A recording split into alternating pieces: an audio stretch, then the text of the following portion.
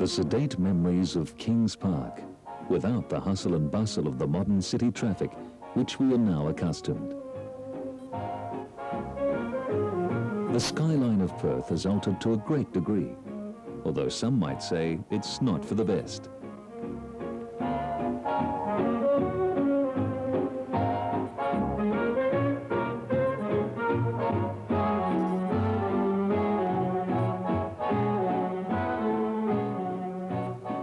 Bushfires and burn-offs have not altered.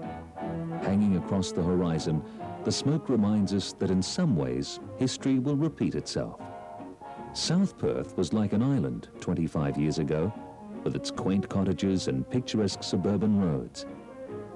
The area now, which is our freeway, seemed in fact a country track, which meandered alongside our beautiful Swan River. A city, of course, must change with modern architecture, and the scenes we presently are viewing will bring back many a tear to our eyes as we remember how placid it seemed then.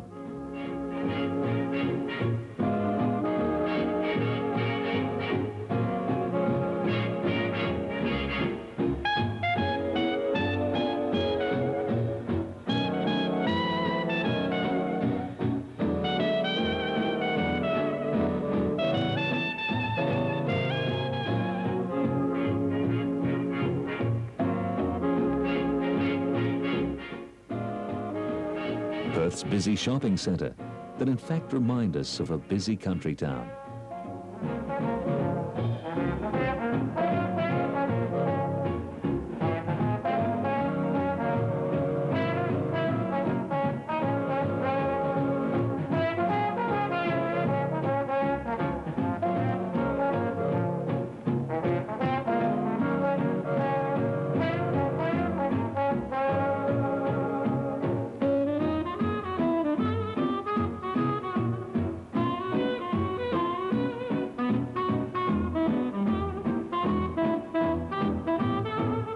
It is disappointing that many of our old buildings haven't remained like this one.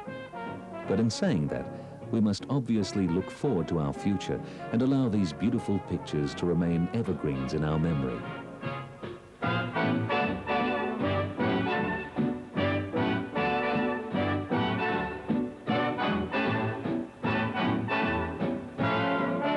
St George's Terrace, taking us up to King's Park with the barrack arch looking so majestic in the background. What memories this brings back.